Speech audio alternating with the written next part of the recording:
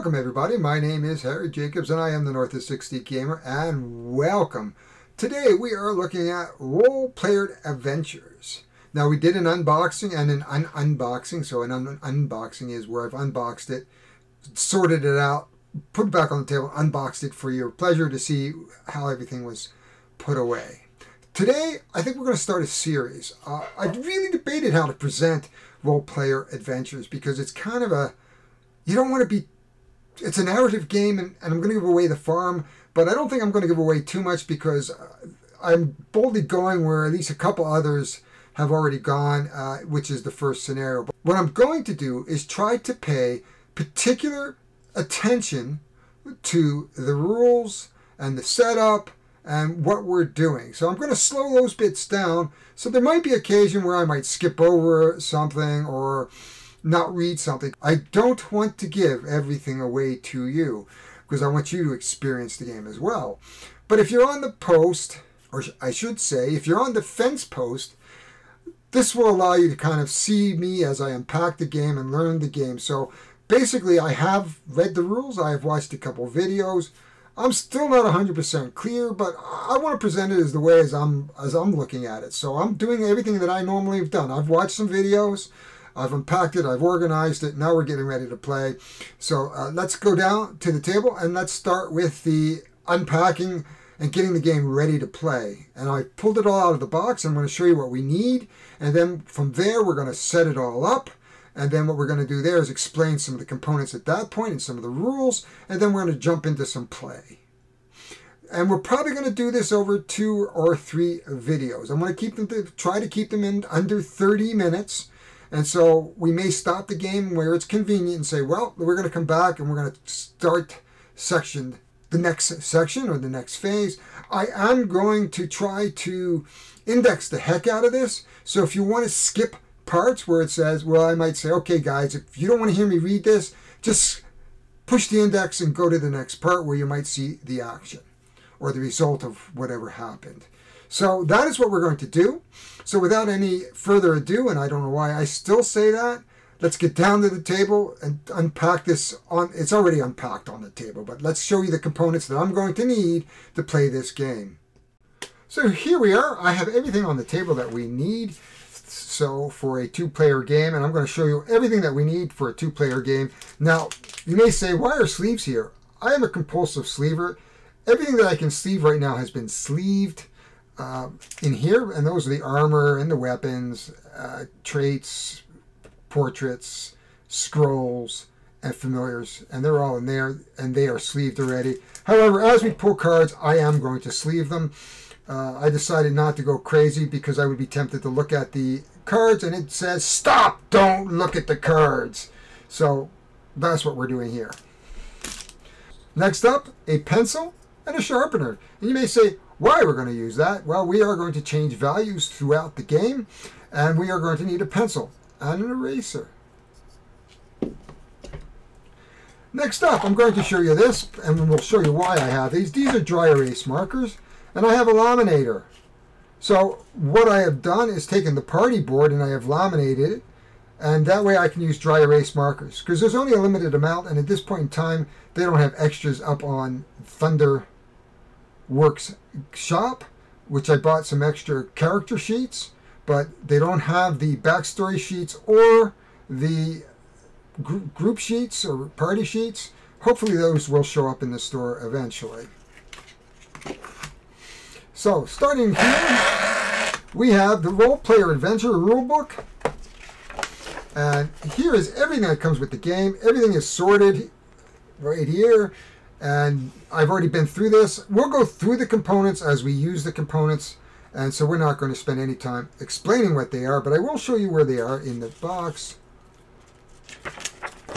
And right now what we're doing is I'm guiding you through this section of the board, and this is what's going to take us to the game. So we're going to spend a few minutes just going through uh, just what's in I need to play. So this video is just what I need to play. So we have the rules. We'll put them offside. We have 36 dice. We're going to need those dice there in a bag, right there. And we're going to need those dice. We have two character boards. We will be using two characters, so there's different rules about setup around how many characters you use. There is a solo play, and there's a two play, two characters, three and four. I went with two because I think there's more diversity in the game, uh, in your in your traits, where you're not pigeonholed. If I got zero of something, that could be deadly in a game. So I, I, am going to try to pick two complementary characters, uh, classes, and cards. So let's hope that goes well for me. And we're going to take you through that a little bit uh, in the next video uh, as we set up the board. These are the character sheets. Now, you may not see it here, but on these boards here, there's a slip, and we slip these into here. Just like that, and we'll see that a little bit closer. These are the backstory boards. So this is the paper that we use for the backstory. Now, the core game doesn't come with the alignment. So in this game, we are going to play, hopefully there's room, to be able to play with the alignment. And, and that gives us the backstory of our characters. And as they get to different adventures and locations, their alignment may change. These are the alignment boards. So we have two of the alignment boards. Here's our backstory. We'll pick a a type like it could be a wanderer, an outcast, or a soldier. Who knows what it is? We'll have to look a little closer. Down here, it looks familiar, like the original game. You'll move your cube around, and here you're going to have the adventure and location. So in spots, the characters in certain adventures in certain spots will have to read from the adventure book. Next up, this is the map, and we are going to do the Battle of Black Lake. If I had a bigger laminate, I probably would do that. These are our visiting places, and here and here is where we're going to uh, find some encounters. Uh, we don't know what they will be until we move there. So that is the map as we get ready to play. This is the Tome of Encounters. So we're not going to look at that, but this is where we're going to get some encounters. So we're going to read probably in three, at least three different places. And this is in the Tome of Encounters. And in the, and let's pull this out from the bottom. The Battle of Black Lake, that is the adventure that we're going to go on. And here is the, oh my god, the backstory codex from the expansion. And we will be reading and we will pick a some sort of backstory here we got a gatekeeper we have a transporter we have a street urchin servant savage celestial who knows what we're going to play i haven't decided yet down here we will do checks so the game may say hey we need a charm check and so what we're going to do you can see we need purple and white it looks like uh, white dice uh, to and a three two one and it'll say charm one and they, and we have to beat this maximum four dice and there's concealment and endurance, and we'll talk more when we get to it. I may try another one. This didn't laminate flat, or I'll put it between some books. But this is the party board. Now, I have laminated for dry erase, and so we'll be able to write our keywords in, and we'll be able to dry erase these things and use this a, million times.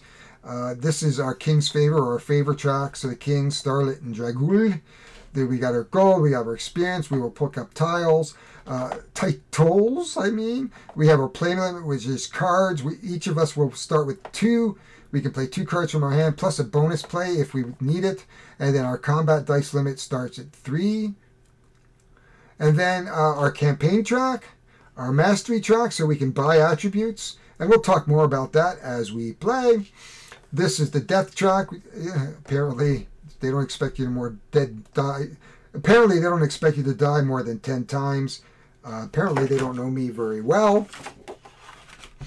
So that's kind of what one set of what we're going to do. In this set, we'll start here. You can see we have our bandits. And these are our monster cards, and here, here are our reference cards.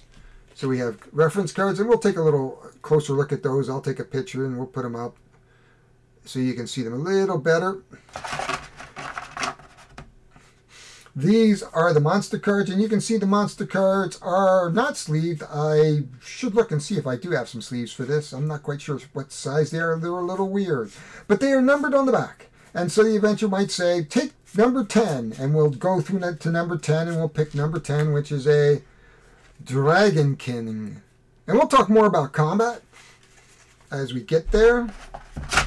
These are modifiers. So in some comments, they'll say, uh, pick a modifier and it might be cornered. So that is what's in that, and we will be using these. Next up is these little books.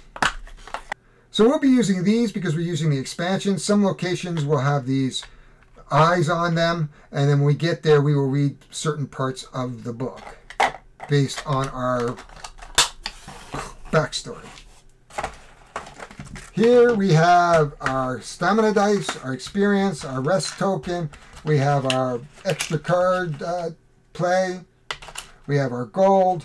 We have numbered tokens here, and we'll have a number of these on the board. The, the setup will tell us in the first adventure it's just number one and number two.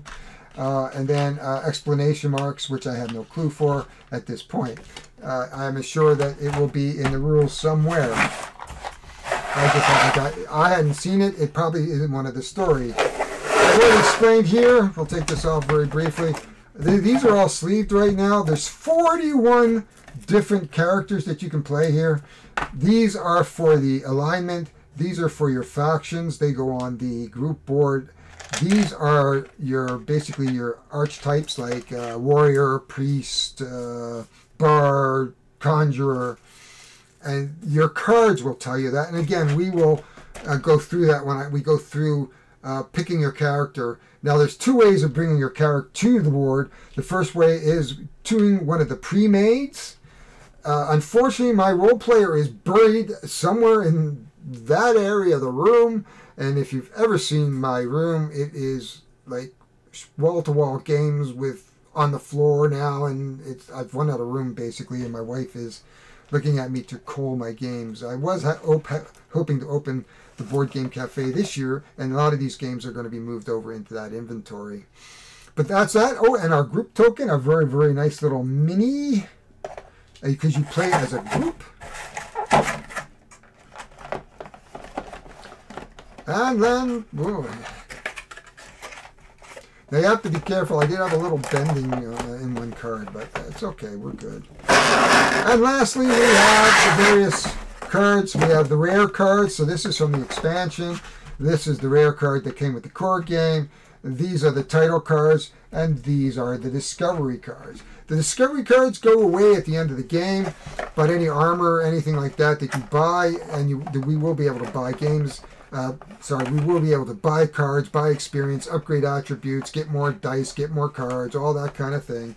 Uh, we just have to be able to afford them. So we have to do really, really well. One of the neat things in the game is just because you end, the, even if you go to the end, once you get to the story, the end, you can still explore. So if you feel that you need to go go to another location, you can do that in this game. It's a little bit of an open sandbox style, so you, there's not not a problem going in and doing that. And over here are the round tokens. So each battle, if I show you a battle card here real quick, here there's the bandits. So you can see each uh, round, nothing happens. If you have to defeat the bandit by the time the round is over. So you have ones, and then if you move your round here, you lose one gold, you lose two gold. So each as the game goes along, you're going to lose gold, or you're going to lose experience, or you're going to lose fatigue. And fatigue is, we're going to explain that, but fatigue is your main life. And if ever the um, if ever the fatigue is greater than your actual health, and you can buy more health, uh, you will lose the game. You fall down exhausted. Now, that doesn't necessarily mean uh, the game is over. It just means that other things are going to happen. Now, you will be in that exhausted state until you can rest and then buy back some, basically use some experience to get back some stamina. And uh, if you both go down, that is the end of the game. And, and I think you, that is it. And, you know, bad things happen.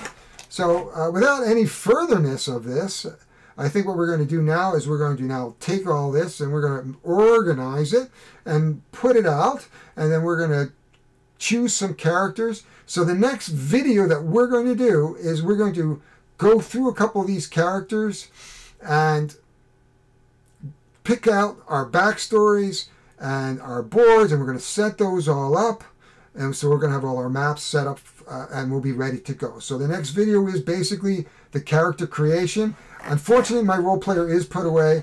I don't know quite how I'm going. I could how I'm I would unbury it to get it out so that we could play it. So this is the end of this segment.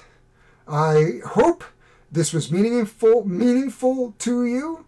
Um, so if you like what you saw, please hit the like. Really subscribe. There's plenty of you in that Roll Player universe. Uh, show me a little bit of, uh, you know, just show me some love by hitting the subscribe button. Uh, tell me what you think. Tell me if this was useful. If you're not somebody who's playing Roll Player, but you're monitoring and working on the boards, come have a look. Watch my unboxing. So this is the second video. And then here, the next one, we're going to set up the board and we're going to do character creation.